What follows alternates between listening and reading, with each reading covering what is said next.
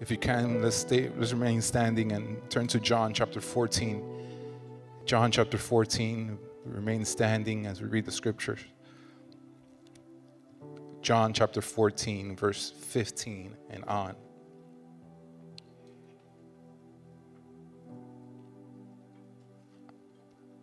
And in the words of Jesus, it says here, If you love me, obey my commandments. And I will ask the Father, and he will give you another advocate who will never leave you. He is the Holy Spirit who leads into all truth. The world cannot receive him because it's not looking for him and does, doesn't recognize him. But you know him because he lives with you now and later will be in you. No, I will not abandon you as orphans. I will come to you. Soon the world will no longer see me, but you will see me. Since I live, you also will live. When I am raised to life again, you will know that I am in, the, in my Father, and you are in me, and I am in you. Those who accept my commandments and obey them are the ones who love me. And because they love me, my Father will love them and I will love them and reveal myself to each of them. Jesus, thank you. Because you gave us instructions that if we obey your commandments, if we obey your word, your love will be in us. You will be in us. And that brings us into relationship with you, the Father, and the Holy Spirit because you will never leave us. You will never abandon us. No matter the situation or the circumstance, Lord God, we will continuously run towards you, Lord God. No matter what happens, we will remain faithful to you, Lord God. Father, Son, and Holy Spirit in relationship with you, God. Lord God, thank you because you live in us if we obey your commandments. We say yes to you, Lord. We say yes to you, Jesus. I ask of you, Lord, that you may use this word to bless your church, your people, your sons and daughters. We pray this in all of Jesus' name. And all of God's people say, Amen, Amen, Amen. Come on, put your hands together for Jesus. What a moment in the presence of God. Welcome those who are here for the first time. Welcome, welcome. And those who are family, come on, SBC, can I hear you loud and clear? Come on. Welcome those who are here visiting for the first time. May the Lord bless you and may the Lord speak to you on this day in Jesus' mighty name. Um, and so today I want to do something special and welcome our newest member of our worship team, Ariel. Come on, Ariel. Come on, throw our hands together for Ariel. We love worship. We love to sing songs unto God. We love God's word. We love the power of God manifested in our lives. But what, what is something that is incredibly important is for us to have the love of God in us, but also demonstrating to others. This love that Jesus has demonstrated for us is that it's in relationship to Him. He has given his life. He has died on a cross. He rose again to give us life and life in abundance. This Jesus in whom we worship is not just a man, is not just a figure, it's not just a figure of hope. It is our God, the one we love, the one we serve, the one we obey, the one we follow, the one that leads us. He is the good shepherd. And without him, we cannot be, we cannot, we can't do anything. And so the thing is that we we want to worship the Lord. We want to exalt his name, but but but this is the thing is a heart check. Do you love me? This is what the Lord is saying, do you love me?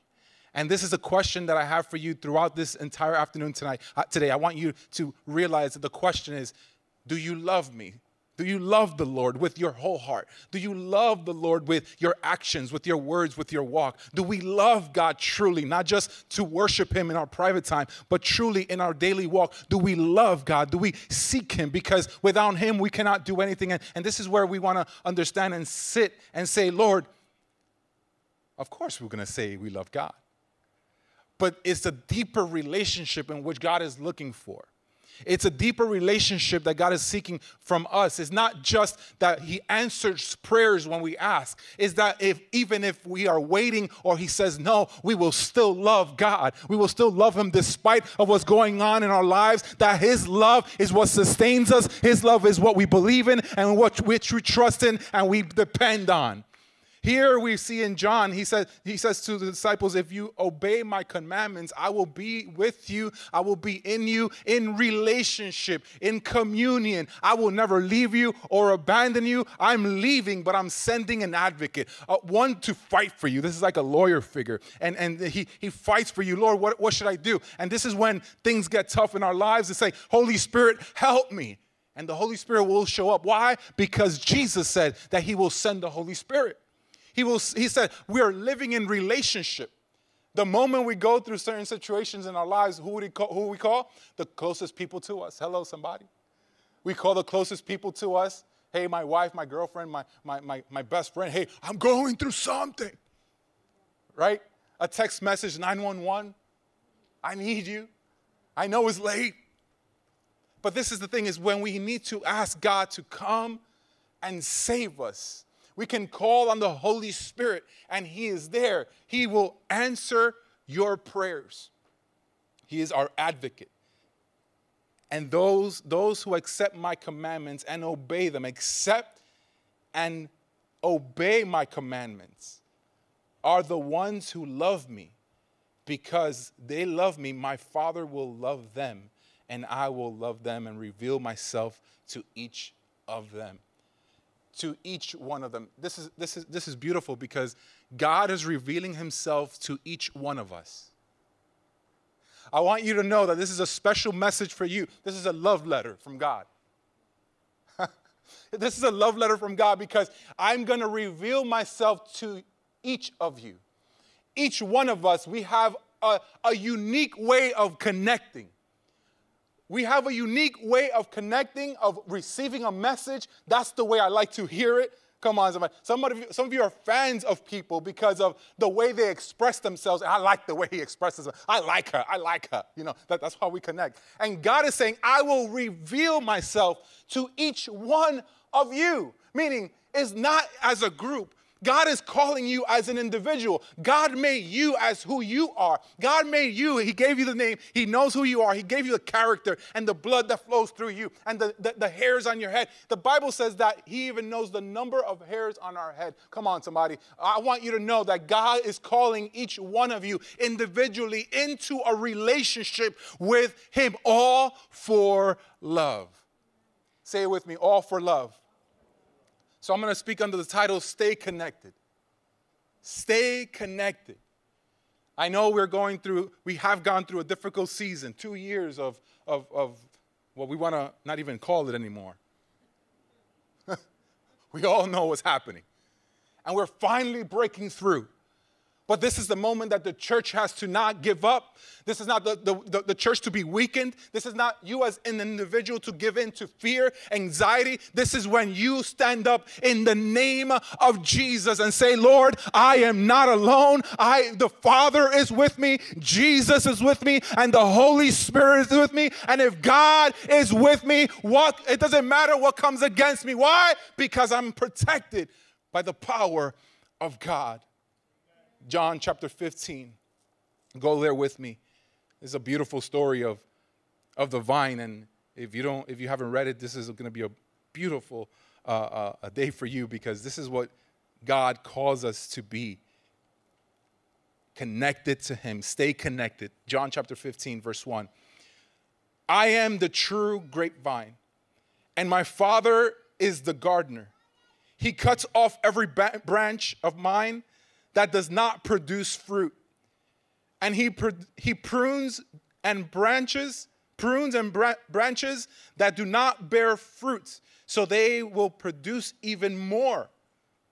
If you have plants, some of you uh, may have plants and know that if you cut some of the, the, the, the, the burnt leaves and, and things that don't belong, it, it, it, may, it allows your plant to grow a little stronger. My, my, my wife taught me that. It's not that I, that I know this, my wife taught me that, you know. so, so here we see it that it is true. A gardener that cares for his garden will prune it. Why? So that it can grow stronger.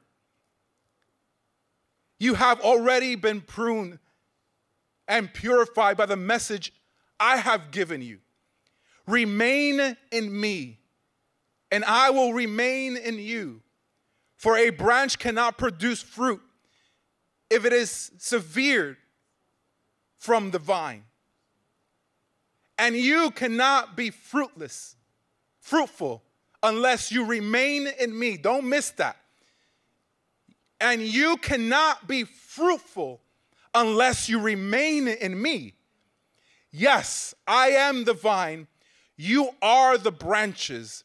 Those who remain in me, if you can highlight that, and I in them, will produce much fruit. For apart from me, you can do nothing. This is a, a, a, declaration. God is saying, outside of me, apart from me, you can do nothing. Say, I can do nothing. Anyone who does not remain in me is thrown away like a useless branch and withers. Nobody wants to be that. We want to be useful. Say, Lord, use me. Lord, use me. I don't want to be cut off. I want to be used in the kingdom. I want to give fruit. Such branches are gathered into a pile to be burned up. But if you remain in me and my word remains in you, you may ask for anything you want and it will be granted. When you produce much fruit, you are my true disciples. When what? When you produce much fruit, you are you are my true disciples. This brings great glory to my Father. Glory to who? to the Father. Because everything we do in this world is to give fruit, to give glory to the Father not ourselves, not for my name to be glorified, is that so that his name can be glorified. If you want to be used by God, you have to understand that you have to put yourself to the side and let God use you so you can give fruit and give life to those around you. Come on, somebody. God is connecting you to him, and we remain connected to him. Why? Because we need to give fruit, we need to give hope, we need to give life through the word of God that lives in us, not because of who we are, but what God has done in us. There are some of you who are who have gone or are going through certain situations, but God is breaking through in the name of Jesus so that you can share your story with someone else because what you're going through is not coincidence, it is your purpose to be lifted up from this in the name of Jesus. Why? Because we are connected to the vine, who is Jesus. Come on, somebody, give him some praise. Give him praise. This brings great glory to my Father. I have loved you even as my Father has loved me. Wow. Remain in my love. When you obey my commandments, you remain in my love. Just as I obey my Father's commandments. This is what Jesus came to earth to because he was obeying the Father. Just as I obeyed my Father's commandments, I remain in his love. I have told you these things so that you will be filled with joy. Come on. I'm telling you all this, all these, so, so you won't be like uh, all upset and, and grouchy and, and angry. No, no, no. It's so that you can receive joy.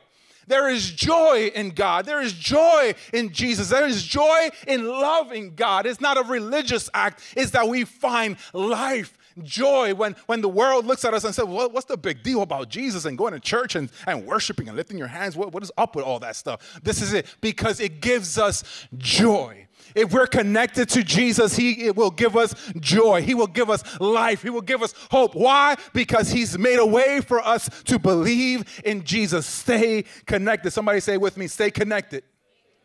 Stay connected. Remain in my love.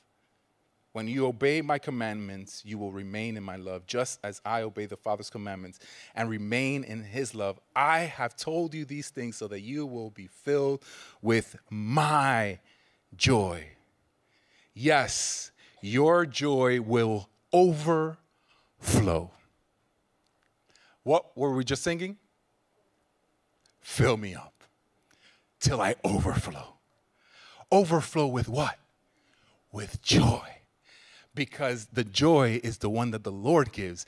And we want to be filled with His joy, filled with His mercy, filled with His grace. Why? So that it, can overflow and overflow. And what? When it overflows, what happens? It gets on everything else.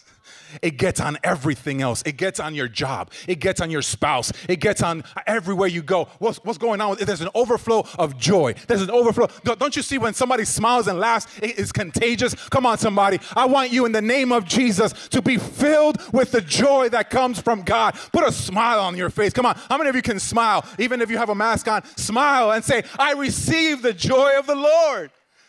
Some of us need to just laugh a little.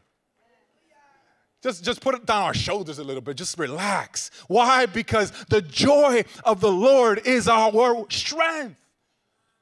We're, we're seeking other things. We're seeking uh, uh, parties. We're seeking people. We're seeking uh, uh IG likes. And if who, I'm going to post and I get depressed if nobody likes it. Like, but if we're filled with the joy of the Lord, if we're filled seeking God, connected to the true love, which is Jesus, this relationship got messed up, and I, I don't know who to love and who's gonna love me back. And, and so many people depressed on Valentine's because they didn't get flowers. But it goes beyond who's living with me, who's showing me love.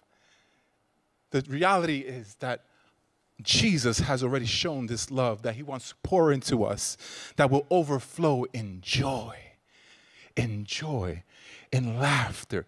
Pastor, bro, I'm going through the worst time of my life. Let the Holy Spirit lead you into a life of joy despite of what you're going through. Despite, put your eyes on Jesus and he will give you that peace that you need. Stay connected to Jesus. Stay connected to, to Jesus. Verse 12. Verse 12. This is my commandment. Love each other in the same way I have loved you. There is no greater love than to lay down one's life for one's friend. Don't miss this, church. Please do not miss this. There is no greater love than to lay down one's life for one's friend. You are my friends if you do what I command. I no longer call you slaves because a master does not confide in his slaves. Now you are my friends since I have told you everything the Father told me. You didn't choose me, I chose you. Somebody give God some praise.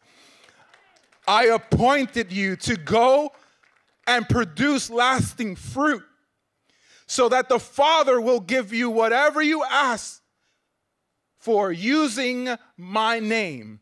This is my command love each other. This is my command to you to love each other. As a matter of fact, Jesus is calling us friends because he has shared the most intimate things that you will share that if you're in a relationship with someone. What he is sharing is what the Father in heaven told him. And Jesus now tells his disciples, and through the Holy Spirit, he continues to share this love and this information of relationship and love with his disciples. If you are a follower of Jesus, obeying his command, you are in his in relationship with him, and he is showing you the the secrets of heaven. What is the secret of heaven? Love. Why did Jesus come to save us? All for love. And he's saying, if you if you love me, love each other. And that is when it gets difficult for us humans. Church people or non-church people. I've heard people say, I can't stand people. I can't stand my coworkers. My husband, I barely love him. Lord, help me.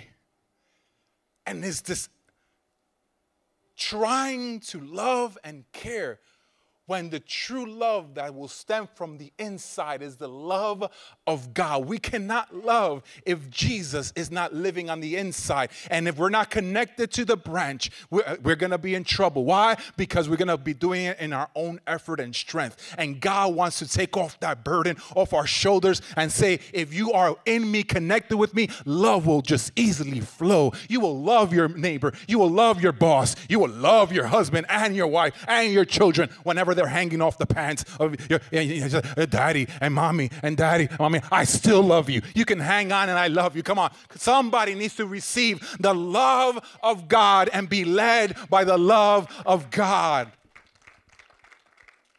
Hmm. Love each other. So difficult to love people. But through God, we can love. Love one another. Love one another. This is what the church is about. This is what family is all about. Despite our, we have flaws. How many of you have flaws? Oh, that's good. Some people honest. How many of you have flaws? And yet, with all our flaws, God still calls us friend. As a matter of fact, Jesus came to earth knowing they're flawed. If it's not for me, they will remain in their sin and I am the ultimate sacrifice. And if to remain in this love with God, we're in trouble. Why? Because if He loves us, we should love one another in church, outside of church, despite the differences that we may have. That the love of God that's in us, let it overflow. Let you have a conversation without getting all riled up and angry and have a conversation in peace and in love. Why? Because that will show you how different you are from the rest. Show love, love one another. And here, I want to, I'm going to jump to John chapter 21, and I'm going to give you some background before we go to John 21. And Jesus is telling, uh, tells Peter in the Last Supper um, that he would deny him three times. And Peter, being Peter, says, Nah, not me. I'm not going to fail you. And what happened was just as Jesus said. The sovereignty of Jesus was manifest right there. Mijo, you're going to fail three times. And here it is. Um, but it led him to this moment. Jesus showed up the third time, uh, showed up three times to these disciples after his resurrection. So after the resurrection, Jesus showed up three times to his disciples. Don't miss this. Peter failed Jesus, denied him, three times. Jesus shows up to the disciples when they were full of fear, anxiety. What comes next? The Messiah is dead. Uh, but Jesus shows up three times. Three times in Scripture is pay attention. Surely, surely it's to happen. I'm with you. So, Peter, three times, surely, surely you're to fail. But Jesus shows up three times saying, It's to be all right. I'm proving to you that I'm alive and I'm well. Truly, I told you this will happen. Three times he shows up after his, his resurrection. And here, the disciples, after failing, feeling like failures, they went back to what they knew, and that's fishing. I love fishing. I don't know about you, but I love it. Every time I hear, I read this story, I'm like, yeah, take me. I'm there. So they're they're fishing because they're like kind of depressed. What are we to what are we to do now? Because Peter has failed them three times, uh, and this is eating him on the inside. This is eating him on the inside. He's like, I failed the master. What, what can I do? And God, knowing all things, He calls them from the shore. And this is the third time He shows up, and He says, Hey, fellas, what's up? Have you caught anything? And they don't know it's Jesus. No, we haven't caught anything. And Jesus tells them, Throw the net on the other side Wait a minute, this sounds familiar. This is how we first met. I heard this before. Who is, I mean, I think I heard this the first time. And Jesus comes and meets them where they are. They, he met them as sinners, and he, he met them again as sinners. They failed three times. So Jesus is still calling them out and saying, despite your weaknesses, I know your heart and your intention. I, I, can you, hey, throw it on the other side. Oh, that sounds familiar. And it says that when they fished, they pulled up so many fish and the net did not break. As a matter of fact, he was showing them the power this sounds like Jesus. I know, I know what this sounds like. We've been living with him for three years, and I know this is this is language of Jesus. And, and, and, and they meet him, they fish, thank God, they were provided with everything. But this is the thing Jesus didn't say, Give me two fish. Jesus already started the barbecue. he, he already had the material, he already had the food. He just said, Let's come and sit and have breakfast. Jesus is in such deep relationship that He wants to bring you in, even if you're flawed. Let's talk about what is going on. Let's sit and sit at the table and say, What is going on? And, he, and, and I can imagine this awkward conversation and this feeling, I failed you, Lord. And I don't know about you, but sometimes when we fail, we feel awkward coming to the presence of God. And sometimes we, we, we, we go back into what we, are, we were used to doing before we met Jesus because we failed God so miserably and we feel so terrible that we go the other route instead of going regardless of what we're going through. And Jesus himself had to call Peter and the disciples and says, Hey, come on, let's have some breakfast. Let's eat. Check this out. When Peter denied Jesus within the crowd, wait a minute. I think I think I seen that guy with Jesus. And Peter said, Me? Never. The Bible says at that moment they were sitting around a campfire made of charcoal. And they were sitting around waiting because he was close to where Jesus was arrested. And he stayed, but he was around charcoal. When, when Peter comes, he sits exactly where he sinned, he, he denied Jesus around fire. And Jesus brought him back to, remem- to remind him I knew what you did around the fire. But around the fire, I want to make all things new. And this is where I want us to read John chapter 21, verse 15. John 21, verse 15. I just gave you a scenario here of this deep conversation that's about to happen. And I want you to try to put yourself even in the story, try to feel what's going on. Uh, not that this is your story, this is for, for you to understand the relationship Jesus wants to have with Peter. John chapter 21, verse 15. After breakfast, Jesus asked Peter, Simon, son of John, do you love me more than these?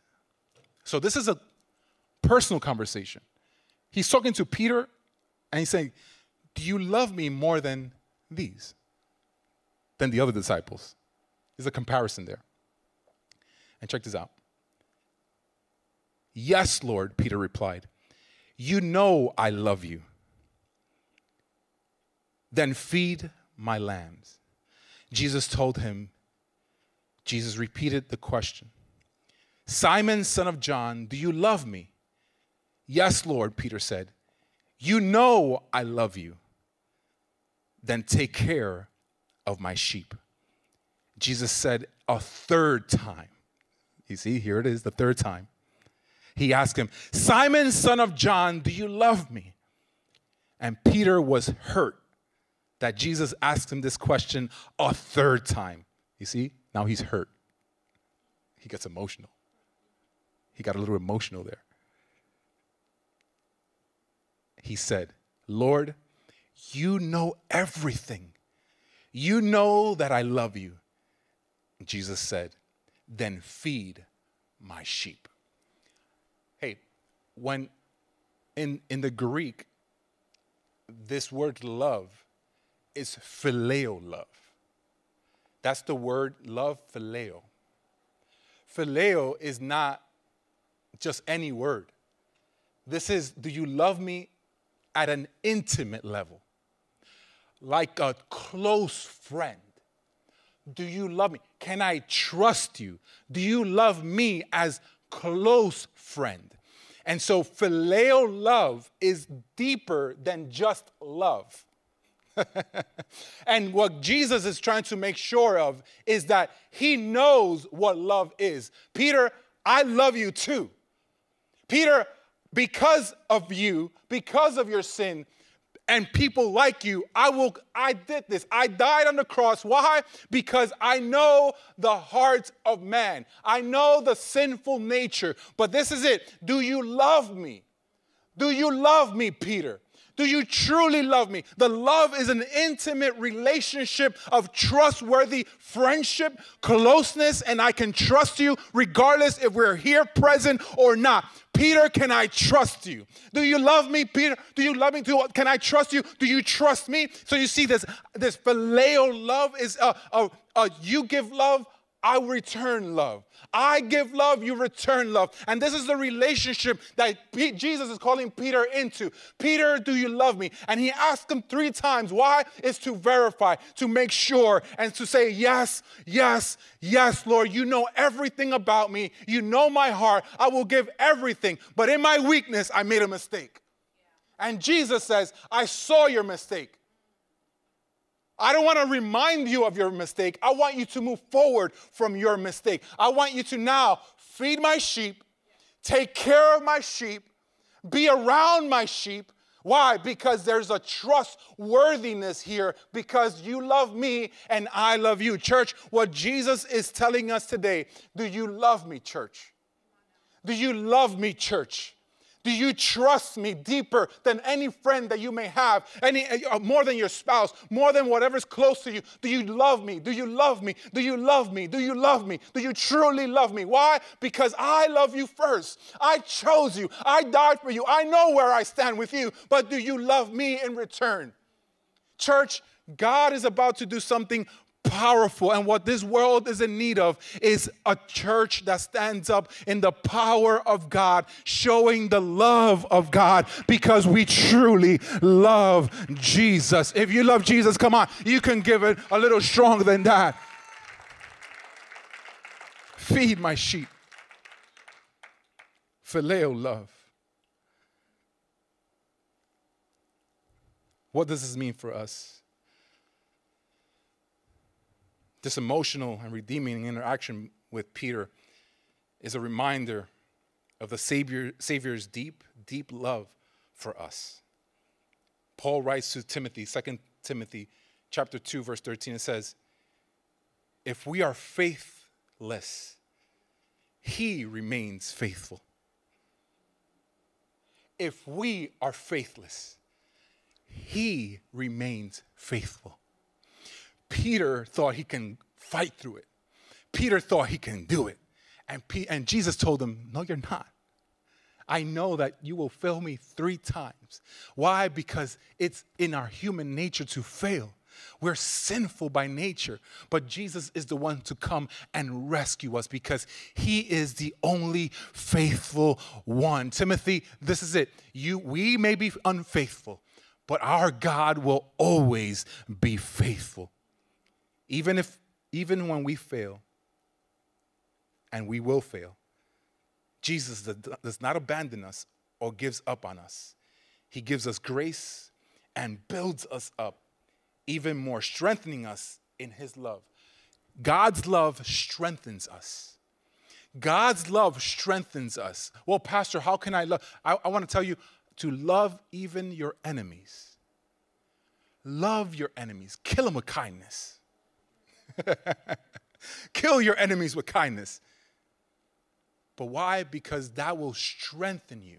If you allow the negativity and somebody else's anger to come up on you and, and, and fill your emotions and make you feel like you're worthless, or somebody's verbal abuse, you're just receiving it and you're tired of it and you're just taking it. I want you to say, In the name of Jesus, God loves me and I don't need you, but I'm gonna kill you with kindness, but I'm gonna know who I am. Why? Because I am with Jesus. I am with the Father and the Holy Spirit, and nothing may come against me. Why? Because I am covered and I am connected to the vine, the one that truly, truly loves me.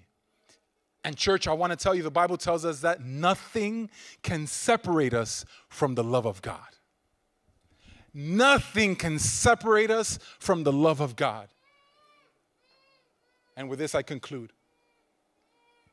I want to tell you today that if we're talking about relationship, if we're talking about love, the most important relationship that we need to have is a relationship with Jesus. The most important, dedicated relationship that we have to have, and it's a commitment, a committed relationship, is a relationship with Jesus. Jesus is the one that will bring it all whole together. We may, we may be looking for love in other places other than God, but God is saying to us today, Do you love me? Do you love me? And what Peter here is saying, Lord, you know that I love you. He says, So take care of my sheep. Take care of my sheep. Go into all nations. Go and preach this message of love. And when God corrects us, He shows us the way. When we think that we're going the right way and God says, No, it's not that way, it's all for love. It's all for love. Is why? Because He wants us to live in eternity with Him. Church, I want to tell you that Jesus died for us on the cross, and He will one day return. Just the way He ascended, He will descend to pick up His church, to be with Him forever. And I want to tell you today if you don't know this Jesus, if you haven't allowed Jesus into your heart to have a deep relationship with God, I want to tell you that whatever you are in need of, the mental torment, the spiritual attacks that you may be feeling at night or uh, during the day, whatever the case, but you feel like you don't feel yourself. You feel like there's some spiritual attack, a mindset is not right, cloudy mind. I want to say that you are set free in the name of Jesus because there is power in the name of Jesus, and you are in the right place at the right time to hear the message of love and to set you free. The blood of Jesus was shed on the cross to give us life and life in abundance. We don't take it lightly. We don't take it for granted. It's, we don't, it's not a religious act. It's not just coming into a church building. It's a true relationship with accepting the love of God, accepting that He died for us on the cross, that He rose again on the third day, that He ascended into heaven. He says, I will not leave you or abandon you. I'm going to send you the Holy Spirit, which dwells in us, with us, around us, to lead us. And this is what the Bible says that we don't know, some don't know about the Holy Spirit because they're not even searching for Him.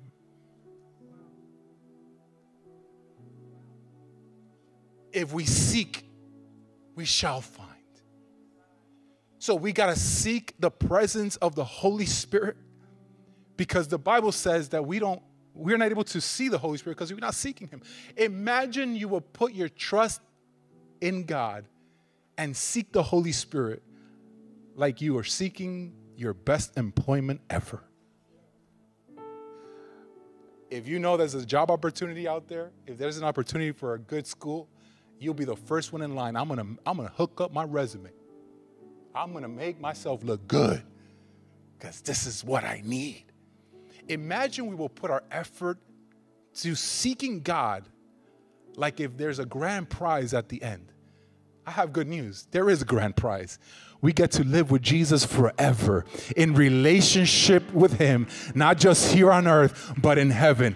And this is what the Bible tells us that Jesus will return for His church that loves Him, the bride of Christ, and it's all because of love. The bride it, and the groom will meet. Why? Because it is all for love. Jesus gave his all for his bride. We are his bride.